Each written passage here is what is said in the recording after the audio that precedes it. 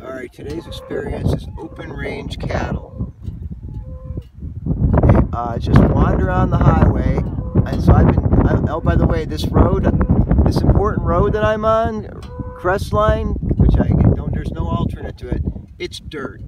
I'm riding 40 miles at least on dirt. Hopefully when I get to the state line at Nevada, Nevada state line, I'm going to have